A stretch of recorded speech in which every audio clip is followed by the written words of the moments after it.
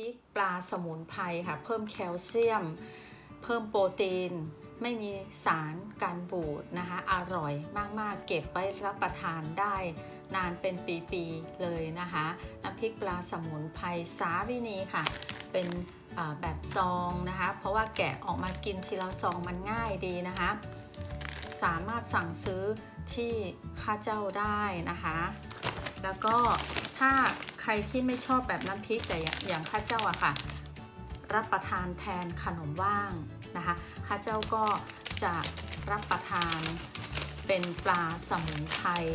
แทนนะคะเพื่อเพิ่มโปรตีน เพิ่มแคลเซียม เวลาไปตรวจสุขภาพเนี่ยกระดูกข้าเจ้าก็แคลเซียมเต็มเปี่ยมเลยนะคะ เพราะแคลเซียมที่ดีที่สุดคือแคลเซียมจากธรรมชาติ เพราะมันจะไม่สะสม ในร่างกายไม่เป็นพิษนะคะ แล้วก็เป็นขบวนการทำงานตามธรรมชาติให้ร่างกายเราดึงแคลเซียมหรือดึงอะไรเข้าใช้ตามขบวนการธรรมชาตินะคะ สามารถสั่งเป็นแบบว่าเป็นปลาเปล่าๆ เอาไว้กินเล่นดูทีวีดูหนัง ขึ้นเครื่องบินไปต่างประเทศกินแทนขนมหวานได้นะคะ ไม่อ้วนนะคะ หรือแซ่บๆก็กินแบบน้ำพริก เก็บไว้ได้เป็นปีๆไม่เสียนะคะ ไม่มีสารกันบูดปลอดภัยนะคะ แล้วก็อาจจะรับประทานคู่กับคอลลาเจนธรรมชาติ แค่หมูนะคะ คอลลาเจนธรรมชาติ ลูกค้าก็ ทำเองสดสดใหม่ๆถุงเบอร์เริ่มเลยนะคะ แค่ 20 บาทกว่าๆเท่านั้นเองนะคะ ถ้าสนใจยังไงก็สั่งซื้อ Line AIA 83 ตัวเบอร์โทรก็ 086 673 54 99 อีเมลที่ thailand 816 522 s ฮ่องกง at hotmail com นะคะ คนเราเนี่ยก็ต้อง กินด้วยตัวเองบ้าง แล้วก็ให้เงินน่ะแบ่งปันคนอื่นบ้างนะคะ ถ้าเราอยู่ได้แค่ตัวเราแล้วก็คนอื่นอยู่ไม่ได้วันหนึ่งคุณก็จะอยู่ไม่ได้นะคะ ดังนั้นนะคะการวางแผนการเงินจะทำให้เราไม่บ้าสะสมวัตถุเงินทองไม่บ้าหาเงินจนไม่ได้ใช้ชีวิต เพราะเราจะรู้ว่า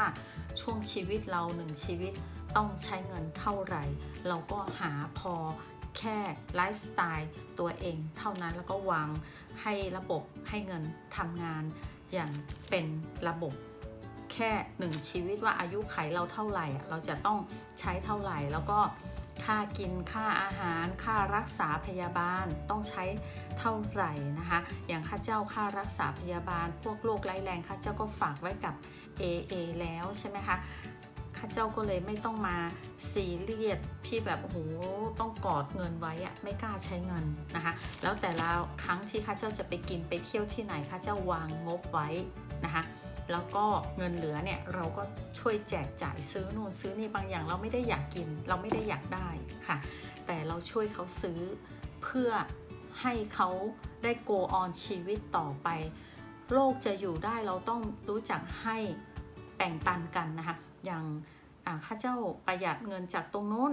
ข้าเจ้าก็อาจจะมาให้อีกส่วนหนึ่งให้เอ็กซ์ต้าเป็นดิฟพิเศษเพิ่ม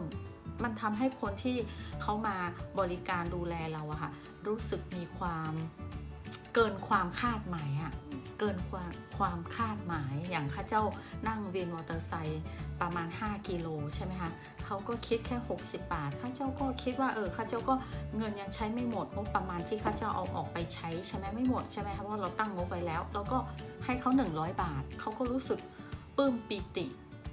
อยากจะรับใช้บริการเราอีก เราไม่ได้ใช้เงินซื้อเขาแต่ว่า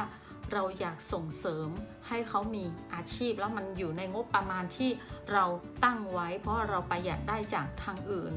หรือเอเขาขายอาหารขายอะไรเนี่ยเราก็อาจจะซื้อแล้วก็แจกยามแจกแม่บ้าน แจกคนอื่น เพราะว่าเรากินเองไม่หมด มันเป็นการส่งเสริมอาชีพ แล้วให้โลกอยู่ได้ เราไม่จำเป็นว่าเราเราต้องร่ำรวยก่อนนะคะ แต่มันอยู่ภายใต้งบประมาณที่เราตั้งไว้ว่าเท่าไหร่นะคะ มันจะได้ทำให้เราค่ะได้กินได้ใช้ชีวิตได้เที่ยว แล้วก็ได้บริจาคทานนะคะ เพราะมนุษย์เราค่ะเราไม่รู้ว่าวาระสุดท้าย มันจะมาถึงลมหายใจไหนนะคะ